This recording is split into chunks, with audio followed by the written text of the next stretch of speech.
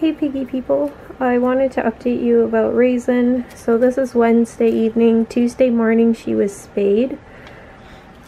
So she's in her own section here, just off from the herd. And she does have a lid. I kind of already guessed that she's going to be, that she was going to be a pig that was going to see about jumping.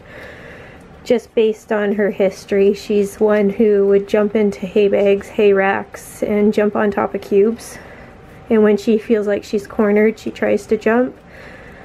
So good thing I had a lid because the first morning like this morning when she was up and moving about she was just looking everywhere to see where she could jump out. But anyway she's in her own section for healing so she needs two weeks to heal on her own. I have a heat mat underneath the fleece liner so it's super warm for her so I got her home from the vets yesterday around, I think we picked her up for 4.30, so we got home about 5.30. Uh, she's been doing pretty decent, uh, eating, as you can see she's eating right now. She's not eating like a ton, by no means. Maybe tonight she'll start eating a bunch more. So I've had to syringe feed her. And I have looked after a lot of pigs and she takes the absolute cake for being the most difficult patient I've ever had. So, as you guys know, she doesn't like to be handled or touched, and my goodness, it's a task and a half to get anything into her and be safe while doing so. I did the same trick as I did with Velvet. So over here are the foam tunnels. I'll place one of those in the cage and she'll go in it and then I carefully lift her up in that.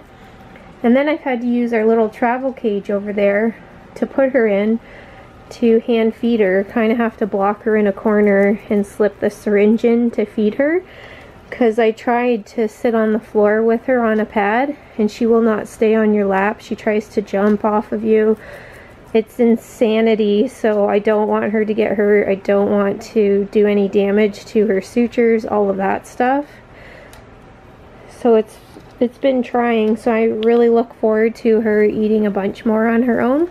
She uh, was pooping pretty quick after she got home which was really nice to see and she's been pooping ever since. I haven't seen her drink water on her own yet so that'll be nice to see that.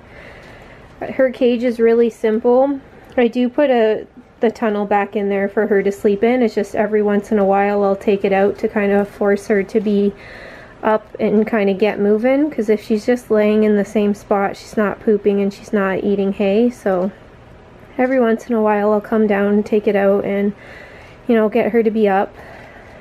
She really does not like being in her own section as I'm sure you can imagine I did try putting pecan in here with her this morning just to give her some company while eating hay, but pecan was really snappy with her, so that didn't work. And then I tried to put Reese, who is probably Raisin's best friend, with her. Reese was fine at the start, and then all of a sudden, once Reese realized that she was blocked in here and couldn't get back over, she started freaking out and pulling the bars and acting all crazy, so I took her out. So maybe once Raisin gets healed more, I can do like little hay parties and maybe everybody could kind of be in this section like supervised so that nobody's bumping anyone around just for some comfort and to get her used to it.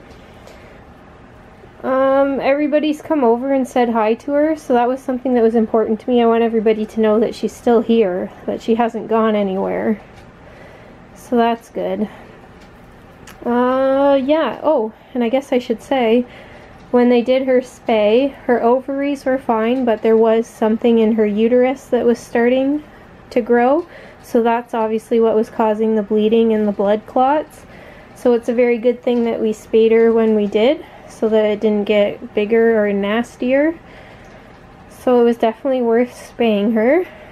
So I think overall everything's going pretty decent. It's really hard to check her incision because handling her is just a nightmare as I've said. So I've tried really hard just to have her out, you know, all feet on the ground and then just gently trying to lift up her front end a little bit so I can peek under. and it's basically impossible. So I've seen her sutures when she's, you know, lifting herself up looking at the bars or something like that, and it looks normal to me. It's not ideal, like with all the other girls to check their incisions were super simple. So, yeah. Uh, I will be so happy once she's healed and can be going back with the herd. She's eating more right now. We just finished doing um, pain meds and hand feeding her. So hopefully these pain meds are really going to kick in. She had um, a pain injection after her spay. And then I gave her pain meds this morning and now we just did, as I said, the pain meds tonight. So hopefully they're getting in her system and she'll be comfortable. I really would just like to see her start drinking water and eating some pellets. That would be nice. Uh, so I think that's about it to update you guys on. So hopefully everything keeps going smoothly and I don't know that Raisin's gonna ever get used to me handling her. Maybe we'll be best friends by the end of two weeks. And that's a joke. okay, bye guys. If you like watching guinea pig videos, learning how to care for us, seeing product hauls or reviews, or really anything else guinea pig, please subscribe and make sure you hit that notification bell so you never miss a video. Down below I've left two more videos for you to pick from, so keep on watching.